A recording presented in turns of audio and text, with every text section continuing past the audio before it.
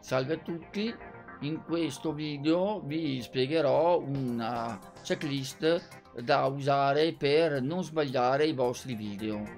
Eh, intendo, prima di fare il video reale dovete fare una serie di test per verificare se eh, tutto funziona perché tutti gli altri video che ho spiegato insegnano come fare delle cose che preparano la funzionalità del video eh, completo che farete alla fine.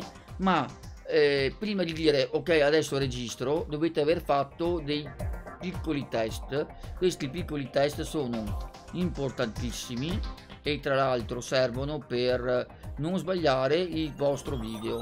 Allora li vediamo in ordine. Il primo è controllare il volume del microfono e del desktop. Per esempio io il video che ho fatto precedentemente mi sembrava perfetto è solo che nel piccolo test che avevo fatto ho abbassato eh, l'audio del desktop e nel video finale che avrei messo su youtube non ci sarebbe stato eh, l'audio del desktop con la musichetta.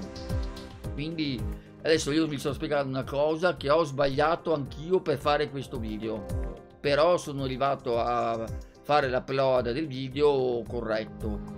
Poi anche l'audio del microfono perché a volte capita che lo mettete muto e registrate che non vi si sente.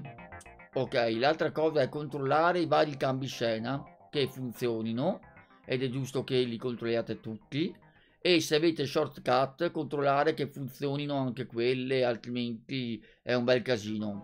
Altra cosa da controllare è un piccolo test di qualche minuto per l'audio e effettivamente se i cambi vengono realmente come avete pensato e se avete un ospite da un'altra parte in internet che si collega a testare che anche l'ospite funzioni. E poi fate il video reale.